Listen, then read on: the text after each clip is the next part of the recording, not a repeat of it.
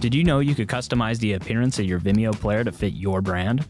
Customizing the player does require a paid Vimeo account, but as long as you have one, you can choose which accessibility options to give viewers when they watch. Customizing the player is easy. Here's how. First, navigate to the player settings. Next, customize the player. Then, save your settings and create presets.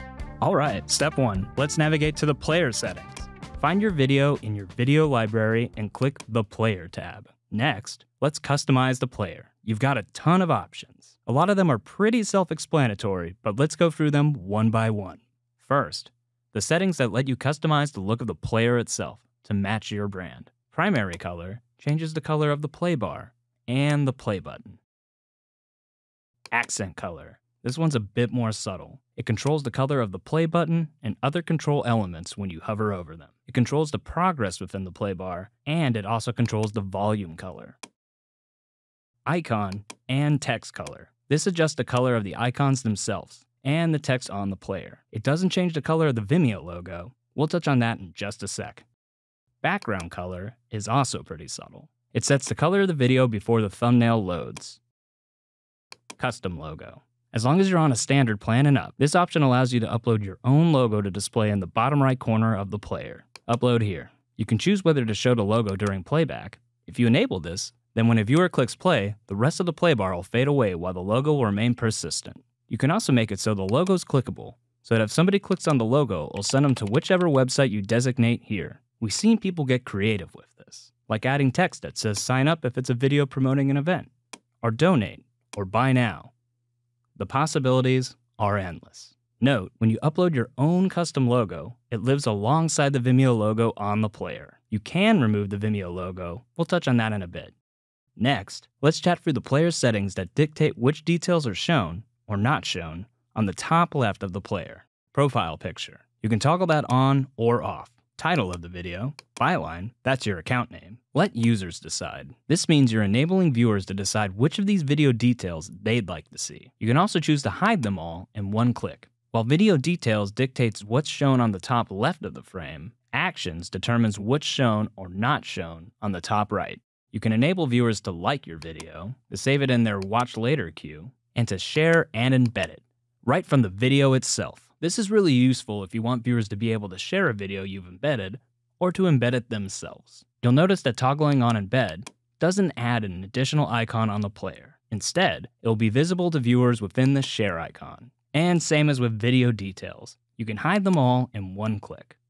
Alright, on to how you want the play button displayed. The classic view is having it displayed on the bottom, but you can also center it. You can also select Auto, which will automatically adjust the position based on the player size. Usually, Auto will place the play button on the bottom, but when the browser is really small, it will be placed in the center. That's especially the case on mobile. Now onto player controls. This lets you decide which accessibility options to give viewers. You can hide all of them, but that's not very common. It's actually pretty common to show all of them, since it gives viewers a lot of options for how they want to consume your content. You can toggle on or off the progress bar. If you turn it off, viewers won't be able to see where they are in a video or jump around. You could toggle on or off the volume slider. You could turn on or off the closed captions. And with transcript, if you toggle that on, viewers will be able to search your video for keywords and jump around to the spot they're most interested in. Pretty cool, right? We definitely suggest keeping this option enabled if you have dialogue in your video. If you toggle off quality, you're making it so that viewers can't go in and choose which resolution to watch your video at. If you keep speed enabled, viewers will be able to watch at a slower or faster pace. Disable it if you want to force viewers to watch it at 1x speed. Make sure audio tracks is toggled on if you've uploaded custom audio tracks, like a dubbed audio track in another language, director's commentary, or descriptive audio. If you toggle on or off quality, speed, or audio tracks one at a time, you won't see a visual change reflected on the player itself. That's because they're all hidden inside the settings gear icon. But if you disable them all, the gear icon will disappear. Keep chapters toggled on if you've got chapters in your video and want viewers to be able to navigate through them in the player. Chromecast and AirPlay. These both give the viewer the option to project the video onto devices connected to their Wi Fi network. For example, if you want viewers to be able to cast content onto their living room TV, you should keep these enabled. Picture in picture. This gives the viewer the ability to watch a Vimeo video on their computer in a small window. This comes in handy for long videos where the viewer might want to keep an eye on the content while also working in other apps. And full screen. This enables the viewer to watch the video in full screen mode. Usually you want to keep this option enabled. And then the Vimeo logo. If you uncheck that, you'll remove the default Vimeo logo that's on the player. Alright, that was a lot. Now on to step 3, saving your settings and creating presets. Once you're happy with your player customizations, hit save. And now your video will have all your preferred settings. If you think you'll want to use the same settings in the future, hit create presets and name your preset.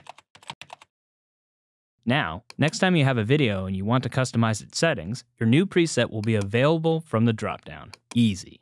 And not only will you be able to use this new preset in the future, your teammates will have access to it too. If you're the owner of the Vimeo account, you'll also see a Manage button, which lets you manage and delete presets in the account settings. Owners can also specify any preset as the default for the account as a whole. That means any future video uploaded to the account will automatically have these player settings applied. Alright, that's it. By customizing your Vimeo player, you're staying on brand and really dialing in which accessibility options you want to give viewers.